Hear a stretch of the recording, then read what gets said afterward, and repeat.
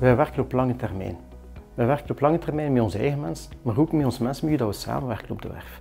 Dus al onze stakeholders, onze onderaannemers, onze aannemers die meewerken aan het project, daarmee willen wij een lange termijnsrelatie maken.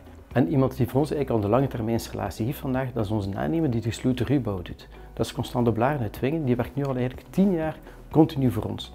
Alle projecten wij mee gaan. We hebben een pool van aannemers, zowel in afwerking, ook voor de technieken hebben we een pool van aannemers waaruit we altijd de juiste mensen selecteren. Dus we hebben een goede kennis, we weten met wie we kunnen samenwerken en met die mensen bouwen wij aan een lange relatie die zeer duurzaam is en dat we elkaar kunnen vertrouwen.